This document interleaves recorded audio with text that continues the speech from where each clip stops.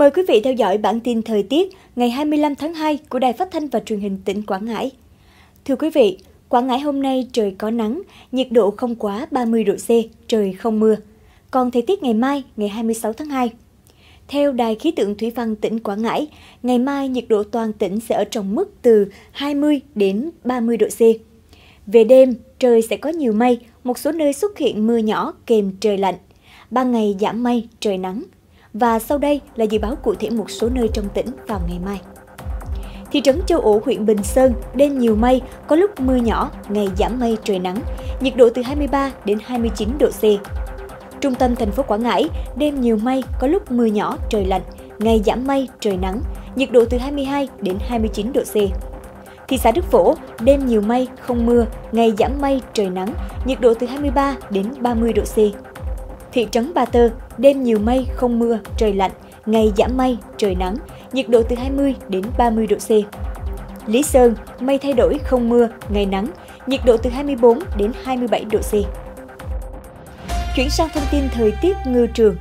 Thưa quý vị, vùng biển phía Nam đang là nơi có gió mạnh, có thể gây bất lợi cho hoạt động trên biển.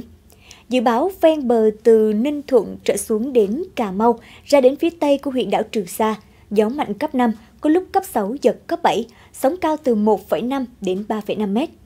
Và để hạn chế thấp nhất rủi ro khi hoạt động trên biển trong thời tiết xấu, ngoài các trang thiết bị cứu sinh thì bà con ngư dân trước khi ra khơi cần chuẩn bị thêm một số vật dụng như đuốc cầm tay hay pháo khói để có thể báo hiệu cho các tàu xung quanh ứng cứu kịp thời nếu xảy ra sự cố.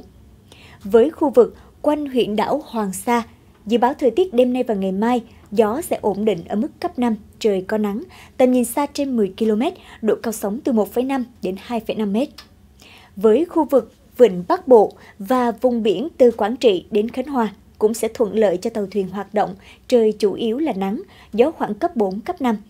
Chỉ riêng với khu vực Vịnh Bắc Bộ sẽ có mưa rải rác và khiến tầm nhìn xa giảm xuống còn 4 đến 10 km. Và sau đây là thông tin dự báo thời tiết trên đất liền, khu vực từ Đà Nẵng đến Bình Thuận trong 10 ngày tới. Trong 10 ngày tới từ ngày 26 tháng 2 đến ngày 6 tháng 3, khu vực từ Đà Nẵng đến Bình Thuận được dự báo đêm nhiều mây, có lúc mưa nhỏ, ngày giảm mây, trời nắng. Phần cuối chương trình là dự báo thời tiết một số tỉnh thành phố trong nước và thế giới. Cảm ơn quý vị đã theo dõi bản tin thời tiết của Đài Phát thanh và Truyền hình tỉnh Quảng Ngãi. Hà Nội nhiều mây, có mưa nhỏ, mưa phùn và sương mù, trời rét đậm, nhiệt độ từ 13 đến 17 độ C.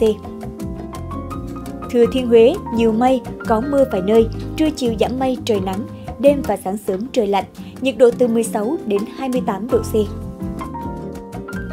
Đà Nẵng có mây, ngày nắng, đêm có mưa vài nơi, nhiệt độ từ 21 đến 32 độ C.